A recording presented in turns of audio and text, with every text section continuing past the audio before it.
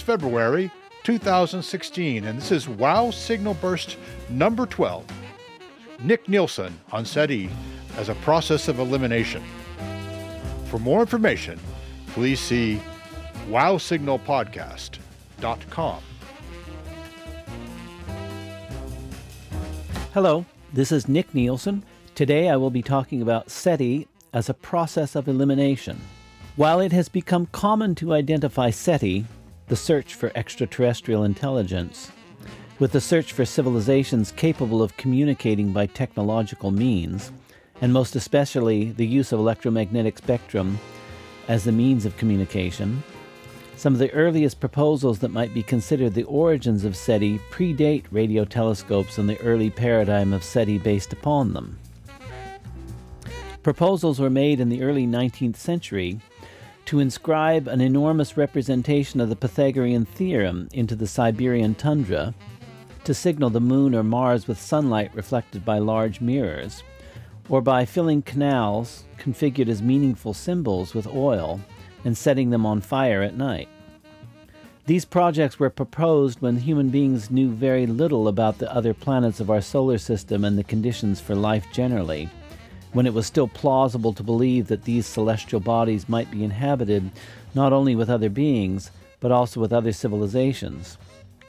Indeed, our understanding of the conditions on, other, on the other planets orbiting our star is quite recent. It was only a little over a hundred years ago when Percival Lowell looked at Mars through his telescope, thought he saw canals, and constructed a melancholy story of an alien species at risk of extinction, building canals to channel water from the poles to the arid equatorial regions of Mars. Lowell's books describing this scenario were quite popular, and traces of the idea persist in classic science fiction stories from the first half of the 20th century. While no large scale efforts at SETI were undertaken by these relatively primitive means, no doubt then as today it was difficult to find the funding, it is worthwhile to point out the counterfactuals involved in these ideas. The projects so described could have been built, and if they had been built, astronomers on Earth peering with their telescopes at the surface of the Moon or Mars, waiting for a signal to be returned by similar means, would have been disappointed and this would have been the first negative result from a SETI research project. But let me consider a slightly more fantastical counterfactual. Suppose that our planetary system had had a very different structure than that which it does in fact have. Suppose that there were many inhabitable worlds orbiting our Sun. And suppose further that, on many of these inhabitable worlds, intelligent beings had emerged and civilizations had arisen. In this case, only the most rudimentary technological achievements on the part of these counterfactual civilizations would have been sufficient to detect large scale visual signaling from Earth. Presumably, they would have responded in kind, and a dialogue would have emerged. The eventual development of spacefaring technology, then, would have meant not the exclusive human exploration of our planetary system, but rather a reaching out to fellow beings with whom we shared a single star and a single planetary system. Subsequent science has dashed any such hopes. There may yet be microbes under the surface of Mars, or some kind of life in the subsurface oceans of Europa or Enceladus, but we can confidently rule out any other technological civilization in our planetary system. We cannot yet completely rule out the possibility of complex life in the subsurface oceans in our planetary system, so we cannot yet completely rule out the slim possibility that there could be other intelligent beings with whom we share our planetary system. But if there are, they have made no large scale effort to signal through the ice under which they would be trapped. It makes for an interesting thought experiment, however, to formulate methods by which such signaling might be accomplished by a marine intelligence under kilometers of ice. Only slowly did we come to the realization that, beyond Earth, the rest of the solar system seems to be sterile. Planetary science has opened up new worlds for us and increased our knowledge of the solar system exponentially. But everything that it has shown us of our own solar system has confirmed the absence of other intelligent beings and other civilizations. The accumulated knowledge we possess today has been a process of the elimination of these and similar scenarios which once seemed possible. When SETI projects were taken up in earnest by means of radio telescopes rather than by gigantic mirrors or geoglyphs, essentially the same endeavor was pushed outward, beyond the diminutive confines of our solar system, looking at other stars rather than merely at other planets. But the same considerations that held for SETI within our solar system holds for SETI in the universe entire, albeit on a far larger scale. Thus, we can interpret the results of SETI in the same spirit, as a process of elimination, the incremental step by step elimination of the possibility of intelligent beings and their civilizations, in the same way that these possibilities have been eliminated within our own solar system. Another way to formulate this is to say that the process of elimination that is SETI first eliminated the possibility of a peer technological civilization within our solar system. By a peer civilization, I mean a civilization more or less like our own. That is to say, a civilization belonging to the same classification as our civilization, assuming that we can work out a plausible taxonomy for civilizations, and a civilization falling within a reasonable developmental approximation of our own civilization. While we cannot rule out the possibility of some particular individual civilization lost among the countless stars of our universe, which individual civilizations may be outliers, incorporating surprising exceptions to the lessons we believe that we can draw from our own experience of civilization. If we conceptualize SETI as a process of elimination, we can exclude entire classes of civilizations. Even if we cannot say there are no other civilizations at all within our light cone, we can say that there are no other civilizations of a certain class. The class of peer civilizations within our own solar system has been excluded in just this way. The conceptualization of SETI as a process of elimination also places a particular emphasis on negative results, and there has been a problem with reporting negative results, which are interpreted as a form of failure. Confirming the elimination of the possibility of an entire class of civilizations allows us to narrow and hence to refine our conception of civilization. Once a class of civilizations has been eliminated as a possibility, SETI can focus on other classes of civilizations that have not yet been eliminated, thus moving the process forward in a via negativa to civilization, that is to say, determining what civilization is not in the universe. An advantage from a scientific standpoint of conceptualizing SETI in terms of a process of elimination of entire classes of civilizations is that if the charge is made against SETI that it, it, that it involves no definitively falsifiable hypotheses, SETI can point to specific classes of excluded civilizations, like other technological civilizations within our own solar system, as evidence that SETI does indeed have definitively falsifiable hypotheses, even if these hypotheses have not typically been expressed in this way, that is to say, expressed in terms of disconfirmation or falsification. Traditional SETI searches for alien radio signals have, in our time, extended the process of elimination to peer civilizations from nearby stars.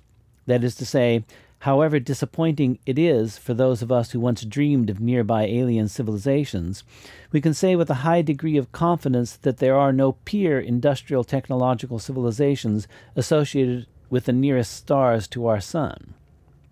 The first SETI project, Frank Drake's Ozma in 1960, looked for signals from Tau Ceti and Epsilon Eridani, two sun like stars relatively nearby. No alien transmissions were detected. Most of the nearby stars, with which we might communicate on a reasonable scale of time and at power levels attainable with contemporary technology, have been surveyed for radio broadcasts. Nothing has been found. Had there been a radio capable peer civilization on a planet orbiting Barnard star, for instance, it would only take six years for a radio signal to reach us, and another six years for that civilization to receive our answer so that about 12 years would elapse between a message broadcast and a response. While that rate of communication is slow compared to our familiar modes of communication, Since we've been broadcasting our signals for more than a hundred years, there's been plenty of time to send and receive messages. Similar considerations hold for all the stars within a radius of the reach of our radio signals, which radius is now a little larger than a hundred light years. Of course, we might receive a signal from Barnard's star tomorrow from an only just recently radio capable civilization, or a civilization that has only recently passed the threshold of generating electromagnetic spectrum signals detectable over interstellar distances. But we have other reasons now for eliminating other local stars as homes for peer civilizations, such as the question of extrasolar planets, for instance, and of any exoplanet being tidally locked to a red dwarf star, in the case of Barnard's star. This does not eliminate the possibility of non peer civilizations, which could include either non radio capable civilizations, that is, a pre industrial civilization, or civilizations so different from our own that we could not recognize them as peers to our particular species of technological civilization. These are classes of civilization, or perhaps non civilizations, not yet excluded by the process of elimination. As our technology improves, it extends the traditional SETI task of the process of elimination farther and farther into the cosmos new instruments and new techniques of observations further expand the scope of SETI. We cannot yet put a numerical value on the zone of exclusion from which the nearby process of elimination can be said to safely rule out the possibility of peer civilizations by means of conventional radio astronomy. But as the technology of the search improves SETI matures as a science, it can pass beyond the classificatory concept of excluded classes of civilization and the comparative concept of peer civilizations to fully quantitative concepts that will make it possible to assign numerical values or a range of numerical values to the zone of exclusion. The science itself of interstellar electromagnetic spectrum communications is still in its infancy. We know from the existence of extremely distant astronomical radio sources that detectable radio signals can be effectively propagated over vast astronomical distances, as long as they are sufficiently powerful. This is the existence proof of long distance radio transmission. For example, active galactic nuclei, pulsars, supernova remnants, and radio galaxies all produce radio signals detectable over astronomical distances. The radio galaxy 3C295 is about 5 billion light years distance for us from us. So we know from this that radio sources from halfway across the known universe can be detected by us. Given this existence proof of the transmission of very powerful signals, it would be an interesting research project to determine the weakest astronomical radio sources that are propagated over cosmological distances what kind of naturally occurring astrophysical processes produce relatively weak signals, and how powerful these signals were at the source. A sufficiently thorough research prog- program of this kind would start to give us a range of numerical values for the propagation of radio signals over cosmological distances. In other words, we need to construct a distance ladder specific to electromagnetic spectrum signals, that is, an EM spectrum distance ladder, and to do this, we need a standard candle for radio astronomy based not on visible spectrum luminosity, but on radio frequency strength. There is, then, much work to be done in the basic science underlying SETI. However, known distant radio sources suggest that, in the pursuit of SETI as a process of elimination, we are not limited to the exclusion only of certain kinds of peer civilizations within a certain parochial galactic range of relatively nearby stars. Kardashev, in the 1964 paper Transmission of Information by Extraterrestrial Civilizations, in which he introduced his famous classification of civilizations as Type 1, Type 2, and Type 3, suggested that we might already, at the time his paper was written, have discovered artificial radio sources. Quote, even at the present time, we have knowledge of about 20 or 30 or so radio sources, with the upper limit of the angular dimensions in the range of 1 to 10 seconds of arc. Some of these sources have been identified with particular optical objects, the nature of which is still obscure. Most of them have not been successfully identified with optical objects. For example, two sources of radio frequency emission from outer space, CTA 21 and CTA 102, were recently discovered at the California Technological Institute and display angular dimensions not less than 20 arc seconds, and have not been identified with a single one of the optical objects in the Palomar sky charts. And, even more intriguing, these sources exhibit a spectrum highly similar to the anticipated artificial spectrum. Unquote.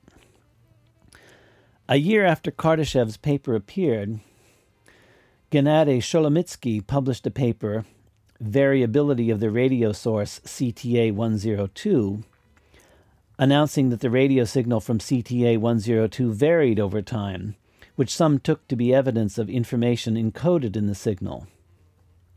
CTA 102 was subsequently identified as a quasar, however, and is no longer believed to be an artificial radio source. But the important point here is that a Kardashevian supercivilization of a sufficient magnitude would radiate as powerfully as a natural radio source, and so would be detectable across very great astronomical distances.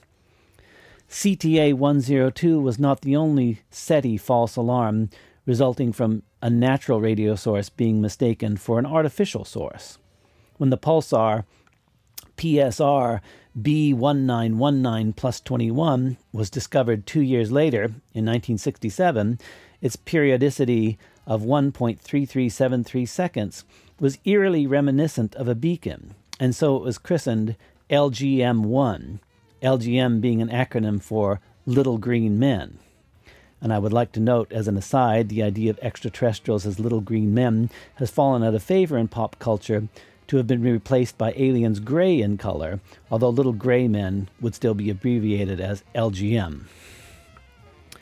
Our universe, then, is alive with radio emissions, and the challenge of SETI is to find the signal possibly buried in the pervasive radio noise, though, as I pointed out above, a supercivilization could be radiating as powerfully as a quasar and not hidden in the background radio noise. If a supercivilization of this magnitude wanted to send a clearly identifiable artificial radio beacon across astronomical distances, it could unquestionably do so. In the same Kardashev paper quoted above, Kardashev wrote, quote, should there exist even one Type 2 civilization within the confines of the local system of galaxies, there will be a realistic possibility of securing an enormous quantity of information. The same holds for the existence of even a single Type 3 civilization in the portion of the universe accessible to observation. Unquote.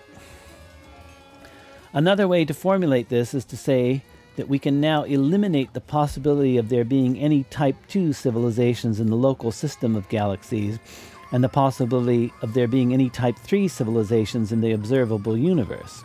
Seen in this light, these are powerful results.